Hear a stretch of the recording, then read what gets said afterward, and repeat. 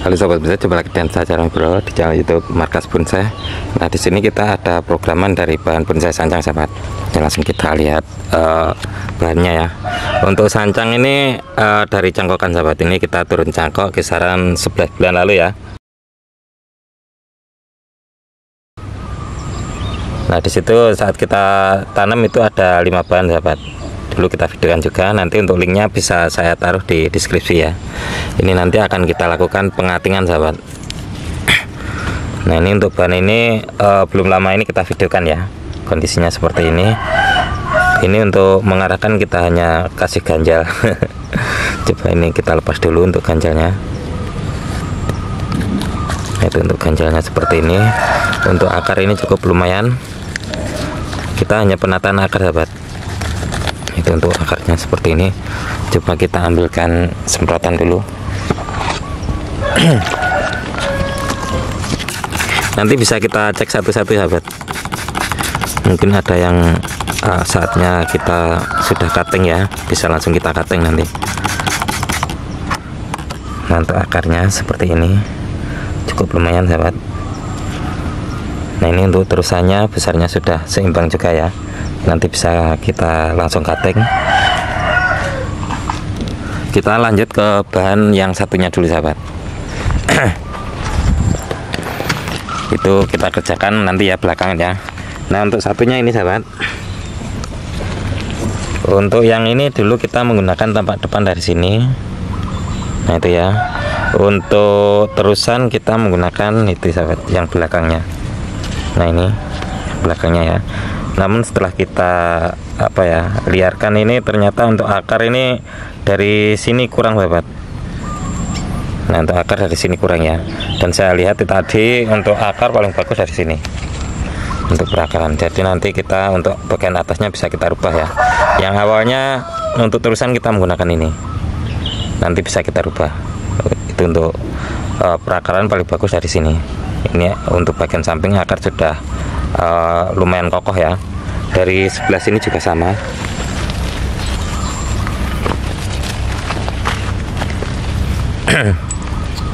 Nah dari sini untuk perakaran seperti itu juga bagus juga ya. Jadi nanti tampak depan bisa dari sana atau dari sini ya. Yang awalnya dari sini sahabat. Ini belakangnya ya. Ini di bagian akar kurang sahabat. Ini batang utamanya kita menggunakan tampak depan dari sana tadi awalnya. Namun ini kita rubah karena kita melihat kondisi akarnya ya. Kalau dari sini akarnya akan terlihat sangat kekar sahabat dengan adanya akar yang menyamping. Jadi nanti untuk terusan kita menggunakan ini.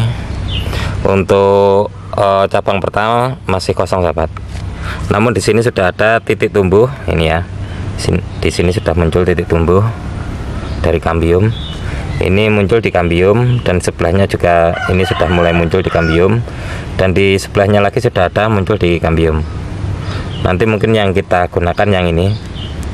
Jadi lurus dengan terusan batang utama yang itu. Jadi untuk yang lain kita eksekusi saja. Kita dari sana ya. Ini kita liarkan setinggi ini ya Pak dan kita nanam di polybag untuk media tanam kita menggunakan pasir sungai kita campur tanah di bawah pohon bambu. Untuk pupuknya kita menggunakan kotoran kambing. Untuk tinggi polybag kisaran segini ya. Ini mungkin enggak ada dua tiga ini ya. Ini kita pendam sahabat. Untuk akar sudah nembus ke tanah ya. Makanya untuk pertumbuhan lumayan bagus. Langsung kita eksekusi saja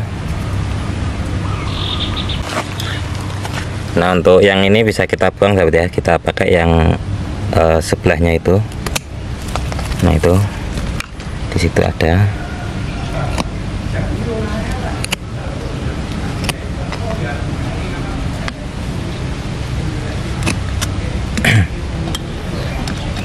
Masih kecil tidak masalah. Yang penting titik tumbuhnya pas ya.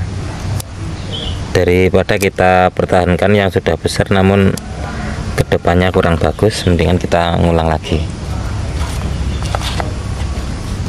Coba ini kita cabut dulu biar terlihat jelas untuk akarnya.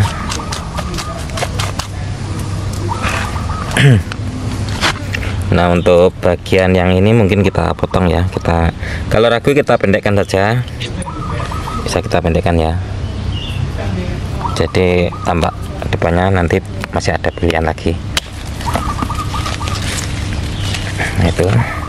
Untuk yang belakang bisa kita buang sahabat. Yang belakang ya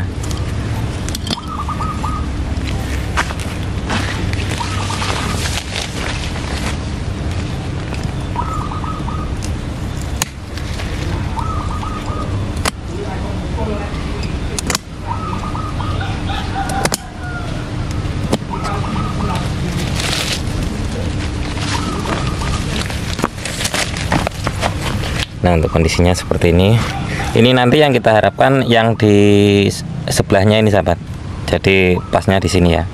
Nanti yang kita gunakan ini. Kemungkinan ini nanti bisa kita press seperti ini. Kita buang maksudnya ini.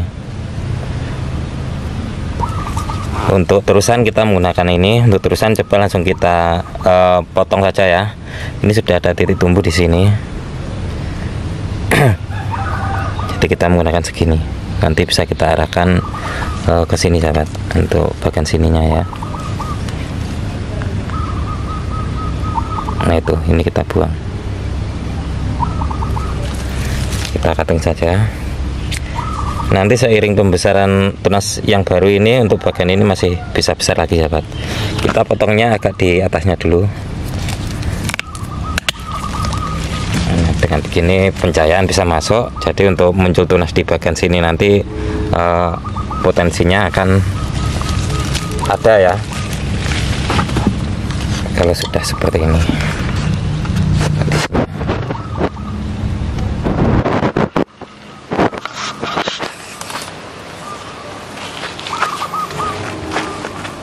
Dari sini tadi kita lihat. Nah, itu dari sini nanti harapan muncul tunas di sini. Sudah terlihat enak. Ini untuk terusan kita menggunakan ini juga bisa sahabat nanti untuk tahun pertama di sini tahun keduanya kita pakai tunas ini ya. Di sini juga ada tunas. Itu juga bisa. Kita lihat saja nanti untuk perkembangan selanjutnya. Ini nanti tinggal kita rapikan dan kita kasih salub kambium kita ke satunya lagi ya. Nah untuk satunya ini yang kita videokan kemarin kita lakukan pemangkasan ya. Kondisinya seperti ini. Coba ini kita seleksi tunasnya ya. Ini nembus di sini mungkin kita buang ini.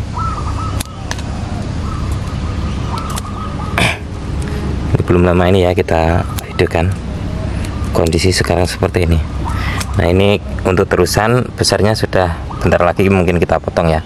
Untuk tangan pertama ini tangan kedua ini. Tangan kedua mungkin kita ngulang lagi menggunakan ini sahabat tunas ini ya karena ini titik tumbuhnya terlalu panjang. Nanti kalau kita pelihara ke depan kita harus sambung sisip di situ. Kadang itu yang kita nggak sempet ya. Jadi kita menggunakan tunas baru itu. Itu ya. Nanti bisa kita press sahabat. Untuk yang atas ini mungkin kita buang. Nanti langsung kita press kita ambil cadok dulu.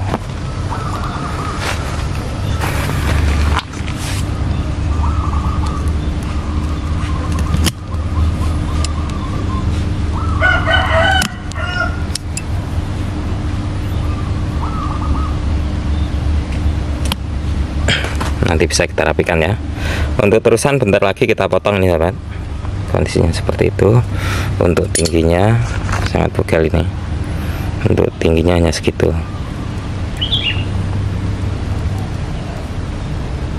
Nanti kita potongnya di sini sahabat. Jadinya super bugel.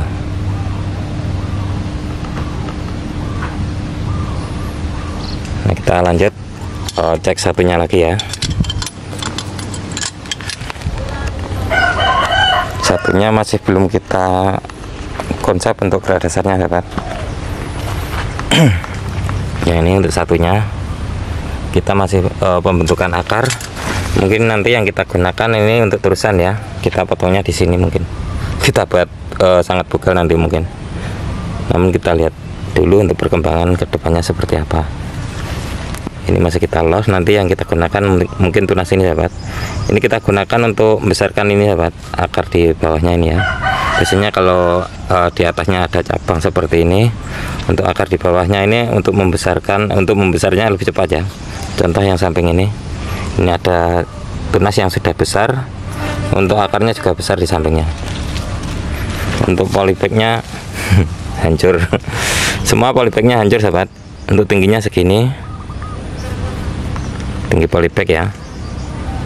Ini lebih besar karena untuk bahannya juga lebih besar makanya kita menggunakan polybag yang agak besar. Ada satu lagi satunya ini. Kemarin sedikit kita bentar ini untuk tunas ini kita buang. Nah kita potong cabang di sini ya. Nanti nggak tahu ini nanti ke depannya seperti apa. Yang penting kita olah eh, kita olah akarnya dulu ya. Nanti ke depan tinggal kita cari tunas yang lebih pas ya kita balik ke yang di awal tadi ya Pak?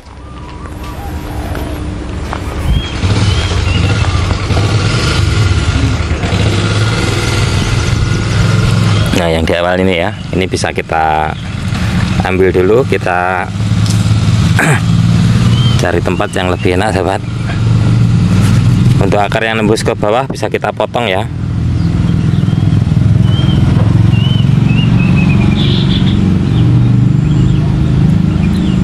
Nah kondisi lebih jelasnya seperti ini sahabat Coba kita lihat belakangnya dulu.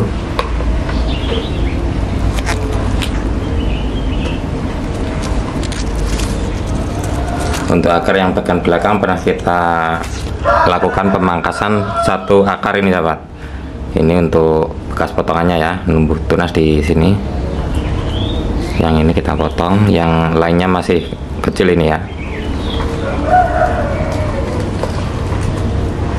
ngangkut sahabat kita balik ke sini lagi.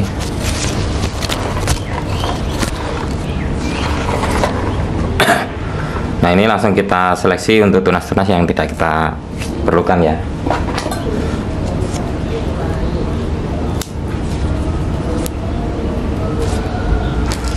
Untuk karakter cukup lumayan bagus ini sahabat. Merental-rental ya. Seperti ini. Bekas kita seleksi tunas ini sahabat membentuk karakter yang cukup lumayan bagus.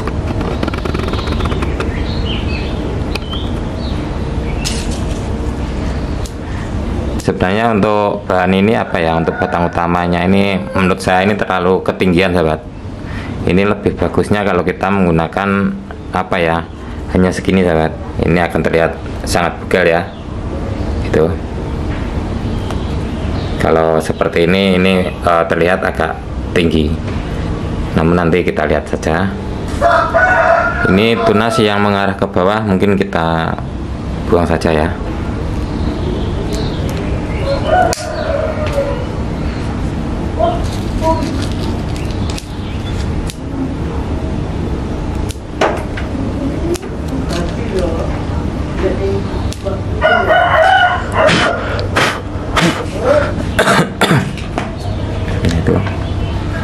kondisinya itu yang belakang juga kita buang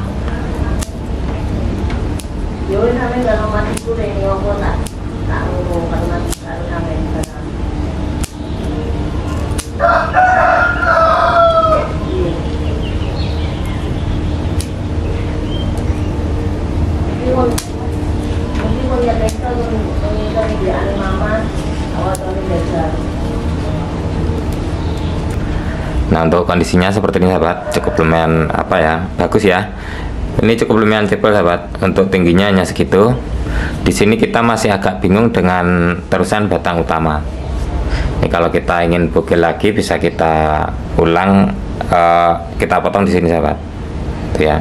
Itu akan terlihat bugel untuk terusan bisa kita carikan di sini. Ini bisa kita gunakan. Namun kalau ini kita tetap menggunakan yang ini ya terusan tentunya yang ini bisa kita buang karena ini sejajar dengan yang backnya. Jadi kurang enak kalau ini kita pelihara. Kita pelihara untuk cabangnya ini. Ini bisa kita agak arahkan ke bawah. Itu ya. Mungkin nanti apa ya kita tetap menggunakan yang ini dulu ya. Ke depannya kita lihat lagi. Kita langsung seleksi bagian ini sahabat. Untuk anak cabang ya. Ini bisa kita potong. Ini besarnya sudah cukup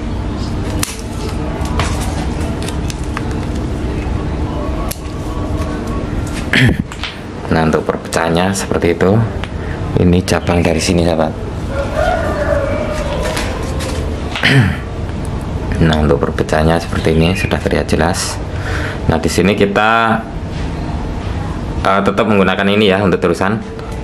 Jadi yang ini bisa kita buang saja yang ini ya. Karena ini sejajar dengan yang back ini jadi kurang enak yang ini juga sahabat ini ada di belakang ya. Misalnya di bagian belakang kita sudah ada terusnya angkut ini sahabat. Di bagian belakang kita sudah ada backnya ini. Backnya ya. Di sini ada lagi. Kalau kita pelihara dua nanti akan benturan. Saat kita ke anak cabang ya nanti akan benturan. Mendingan kita buang satu ini nah kita pakai yang ini. Ini nanti saat besar cukup bisa kita potong satunya kita arahkan ke sini ya untuk mengisi bagian sini.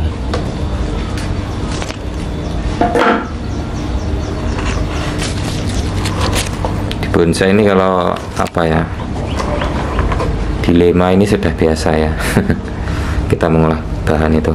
Nah ini nanti bisa kita agak teguk ke bawah untuk cabang kedua ya. Untuk hasilnya seperti itu untuk terusan bisa langsung kita potong. Kita mungkin nanti menggunakan tunas ini ya.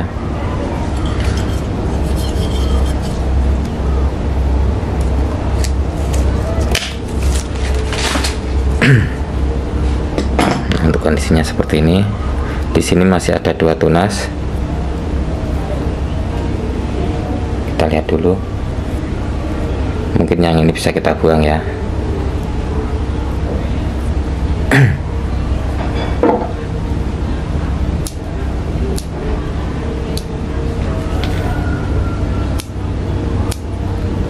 kalau kita masih belajar sahabat e, seperti saya ini ya jangan ragu untuk memotong. Yang penting bahan ini tetap subur ya nanti kalau kurang bagus bisa kita ulang. Dengan begitu nanti kita punya pengalaman untuk mengolah bahan ya. Kalau kita ragu nanti nggak tahu untuk hasilnya seperti apa. Mendingan langsung kita eksekusi. Kalau kurang bagus yang penting pohonnya tetap hidup ya. Itu bisa kita olah lagi.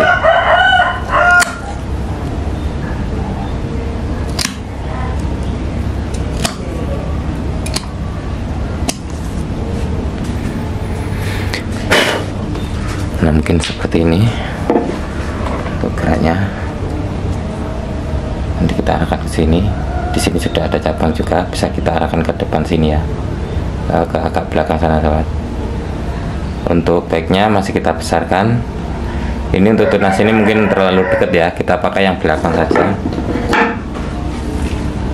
Di belakangnya juga ada tunas sahabat. Nah itu. Mungkin nanti yang kita gunakan ini ya jadi agak jauh. Karena untuk back ini apa ya kita gunakan untuk tampak jauh sahabat. Jadi kita naruhnya juga jauh seperti ini kita hanya pelihara ini satu cabang. Ini sudah dominan bisa dibilang ini masuknya twin ya nanti. Tuh, untuk cabangnya. Cabang kedua kita menggunakan ini. Ini nanti akan kita arahkan ke bawah. Ini cukup kita tarik dengan kawat di sini sahabat. Nah ini ya sudah bisa ke bawah nanti. Untuk perpecahannya dari atas kita lihat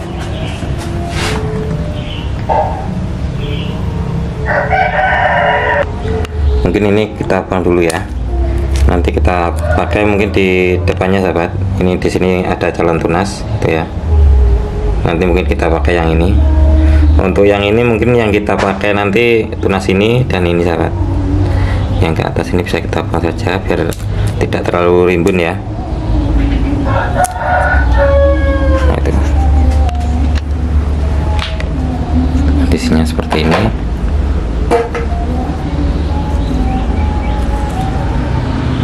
nanti tinggal kita arahkan seperti ini.